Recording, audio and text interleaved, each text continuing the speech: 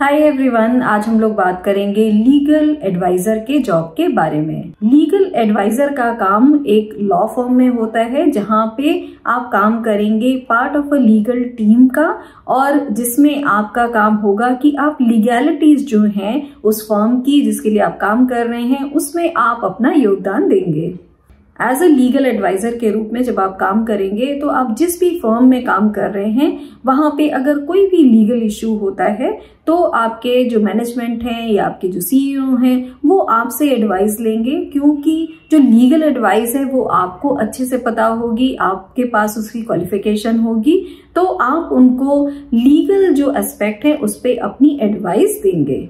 एक तरीके से बोल सकते हैं कि एक लीगल एडवाइजर के रूप में आपका जो काम होगा कि आप अपनी कंपनी को या अपने कंपनी के जो मैनेजमेंट हैं, वो सही डिसीजंस कैसे लें और किस तरीके से लीगल जो रूल्स एंड रेगुलेशंस हैं, उनको ध्यान में रख के वो अपने कंपनी के काम कैसे करें या फिर जो डिसीजंस हैं, वो कैसे करें या फिर जो भी नया जैसे वो प्रोजेक्ट ला रहे हैं, हर चीज़ में जो लीगल कॉम्प्लिकेशंस हैं या लीगैलिटीज हैं उनको देखना बहुत ज़रूरी होता है। इसलिए जो बड़ी फॉर्म होती हैं, वो अपनी एक लीगल टीम रखती हैं और उनके जितने भी लीगल काम होते हैं, उसमें हो सकता है कि कंपनी को कोई सू कर रहा है या कॉन्ट्रैक्ट्स हम देखें, एक छोटे लेवल पे देखें तो कंपनी में जितने भी एम्प्लॉय होंगे, उनके कॉन्ट्रैक्ट होते हैं कंपनी के साथ। तो उन कॉन्ट्रैक्ट की जो लैंग्वेज होगी, किस तरीके से उन कॉन्ट्रैक्ट को बनाना है, ये सारा काम जो होगा लीगल एडवाइजर्स या पार्ट ऑफ़ जो लीगल टीम होते हैं, वो देखते हैं। आपकी जो फर्म है, वो हो सकता है कि फॉर एग्ज़ाम्पल कोई मैन्युफैक्चरिंग फर्म है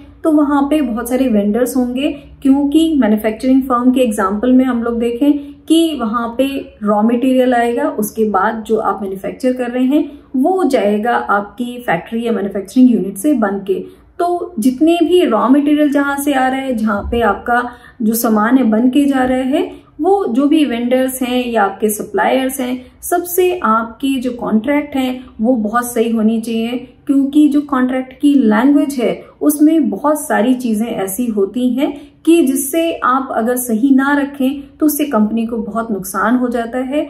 इसीलिए जो बड़े बड़े ऑर्गेनाइजेशन है बड़े बड़े फॉर्म्स हैं, वो अपने लीगल एडवाइजर खुद रखते हैं कि जिससे उनके जो भी लीगैलिटीज हैं, वो उनको अच्छे से देखें। उनके जो कॉन्ट्रैक्ट्स बन रहे हैं, वो एकदम फॉर्म हो। उनकी लैंग्वेज जो है, जो आपकी कंपनी चाहती उसके हिसाब से हो। क्योंकि आपको लीगैलिटी की नॉलेज आपको होगी तो वो एस्पेक्ट देखना एज अ लीगल एडवाइजर आपका काम होगा।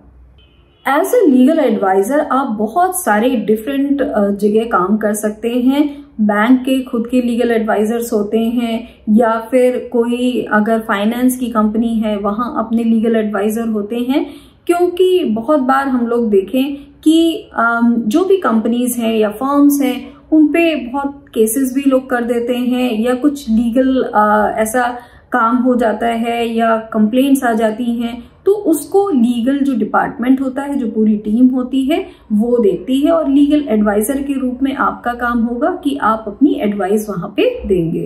एज अ लीगल एडवाइजर आपका काम होगा कि जो नए कॉन्ट्रैक्ट्स हैं, उनको बनाना और उसके साथ साथ जो पुराने कॉन्ट्रैक्ट्स होंगे, आपकी फॉर्म के या फिर कोई भी डॉक्यूमेंट आपको तैयार करना है या फिर कोई कंप्लेंट आई है या कोई केस जो है वो कोर्ट में चला गया है, किसी ने कंप्लेंट कर दी। तो ये सारे इसके जो डॉक्यूमेंट हैं, आप रिव्यू करेंगे, आप उनको बनाएँगे भी। अब जब आप एक लीगल एडवाइजर के रूप में काम करेंगे तो आपको जो भी लीगल प्रोसीजर्स हैं रूल्स एंड रेगुलेशंस हैं, वो जानना बहुत इन डेप्थ बहुत ज़रूरी हो जाता है, क्योंकि आप एक छोटी फॉर्म में भी काम कर सकते हैं, एक बहुत बड़ी फॉर्म में भी काम कर सकते हैं तो इसके लिए आपकी जो एक्सपर्टीज है, वो यहाँ बहुत काम आएगी। तो क्वालिफिकेशन के साथ साथ आपका जो एक्सपीरियंस है, आपकी जो एक्सपर्टीज है, वो बहुत काम आएगी। और आप खुद कितना चीज़ों को सीखना चाहते हैं, किस तरीके से आप अपने आप को अप टू डेट रखते हैं, क्योंकि हर एक फ़ील्ड में अपने आप को अप टू डेट रखना बहुत ज़रूरी होता है। एज अ लीगल एडवाइजर आप ऑफ़िस से भी काम कर सकते हैं, उसके साथ साथ बहुत बार आपको मीटिंग्स भी करनी पड़ेंगी क्लाइंट्स के साथ, क्योंकि जब एक केस आपके सामने अगर आता है तो आपको उस केस के बारे में सारा सब कुछ नॉलेज होनी चाहिए। तभी अगर केस वो कोर्ट में जाता है तो आप कैसे किसी को डिफेंड करेंगे जब तक आपको उस सब के बारे में नॉलेज नहीं होगी?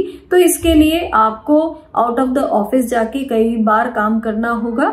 जो क्लाइंट्स हैं, उनसे मीटिंग करनी होगी। जो इन्फॉर्मेशन है, वो क्लाइंट से लेनी होगी। फिर आपको जो ड्राफ्ट है, वो तैयार करना होगा। तो इसके लिए क्लाइंट मीटिंग करना एक बहुत बड़ा पार्ट ऑफ़ योर जॉब बन जाएगा। जब भी कोई लीगल केस होता है या लीगल आपको काम करना है तो उसमें प्रूफ्स हैं। ये सारी चीज़ें आपको इकट्ठा करना बहुत ज़रूरी होता है, क्योंकि उसी के बेसिस पे आप, कोई कंप्लेंट है, उसके लिए आप देखते हैं कि कैसे उसको सुलझाया जाए, या फिर कोई भी लीगैलिटी है, उसको कैसे आप देखेंगे। तो इसके लिए प्रूफ्स को जुटाना और उन पे काम करना, फिर ये देखना कि किस तरीके से लीगल जो रूल्स एंड रेगुलेशन हैं, जो लॉज बने हैं, उसके हिसाब से आप कैसे अपने क्लाइंट को हेल्प कर सकते हैं। एज ए लीगल एडवाइजर जब आप काम करेंगे तो आपके राइटिंग स्किल्स आपके रिसर्च स्किल बहुत अच्छे होने चाहिए और आपका एक एनालिटिकल थिंकिंग जो है, वो बहुत अच्छी होनी चाहिए। क्योंकि आपको ये देखना है कि आपके क्लाइंट की जो सिचुएशन है उसके हिसाब से आप कैसे जो लॉ में जो प्रेसिडेंस हैं, उनको कैसे यूज़ कर सकते हैं, या फिर बहुत कॉम्प्लेक्स जो आपकी कंपनी है या फॉर्म है, अगर बहुत कॉम्प्लेक्स चीज़ों से डील कर रही है तो उनके जो कॉन्ट्रैक्ट बनाना है, उनका जो लीगल फ्रेमवर्क बनता है पेपर वर्क होता है, उसको भी बनाना आपका काम होगा। तो इसके लिए आपकी नॉलेज होना बहुत अच्छी क्लैरिटी होना, जो लीगल लैंग्वेज होती है, उसमें क्लैरिटी होना बहुत ज़रूरी होता है। लीगल एडवाइजर के रूप में आपके जो कम्युनिकेशन स्किल्स हैं, वो बहुत अच्छे होने चाहिए। क्योंकि आप, हो सकता है कि कहीं अपनी फर्म को आप रिप्रेजेंट भी करेंगे, हो सकता है कोर्ट में आप रिप्रेजेंट करें तो उसके लिए आपके कम्युनिकेशन स्किल्स होना बहुत ज़रूरी होता है। आपको सारे जो प्रोसीजर्स हैं, उनकी नॉलेज होना बहुत ज़रूरी होता है। अगर कोई डिस्प्यूट है, उसका सेटलमेंट कैसे किया जाए लीगैलिटीज को ध्यान में रख के उसका सेटलमेंट आपको करना होगा। तो इसके लिए आप जो एक पार्ट ऑफ़ लीगल टीम होंगे वो एक बहुत ही अहम डिपार्टमेंट होता है, जिसको हम बोलते हैं कि लीगल डिपार्टमेंट है। वो बहुत ही ज़रूरी होता है, क्योंकि सारे कंपनी के कॉन्ट्रैक्ट्स जो हैं, सारा, जो भी अगर कोई डिस्प्यूट है तो उसको देखने का काम आपका होगा। एज अ लीगल एडवाइजर जब आप अपना काम करेंगे तो उसमें आपकी एक्सपर्टीज होना बहुत ज़रूरी होता है। अगर आपका इंक्लिनेशन है जो लीगल काम है, उसमें अगर आपको अच्छा लगता है, इस तरीके के काम करना और आपको इंटरेस्ट है लीगल काम में या लीगल एडवाइजर बनने में तो आप इस जॉब में बहुत अच्छा कर सकते हैं और इस जॉब में आगे बढ़ने की भी ग्रोथ अपॉर्चुनिटी बहुत अच्छी है। आप एक छोटी फॉर्म से शुरू करके बहुत बड़ी बड़ी फॉर्म में काम कर सकते हैं। तो अपॉर्चुनिटी जो है वो बहुत अच्छी है इस जॉब में। अगर आपको इंटरेस्ट है और आप में जो स्किल सेट है जो इस जॉब के लिए रिक्वायर्ड है, अगर आपके पास वो है तो आप एक बहुत ही अच्छे लीगल एडवाइजर बन सकते हैं। आई होप इस वीडियो से आपको काफ़ी नॉलेज मिली होगी। कुछ पूछना है तो ज़रूर कमेंट बॉक्स में लिखिएगा। And I am going to see you in my next video